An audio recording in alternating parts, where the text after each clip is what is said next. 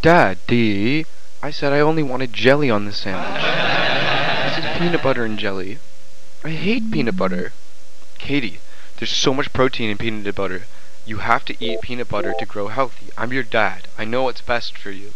And I don't understand why you wouldn't want peanut butter on your sandwich. It is the best flavor combination that you could have on a sandwich. Dad, not understanding something isn't a good reason to prevent someone from doing something. You, it's just you trying to have power over something because you feel you have an adequate amount of power in your everyday day life. Katie. Inadequate. Ka- Katie.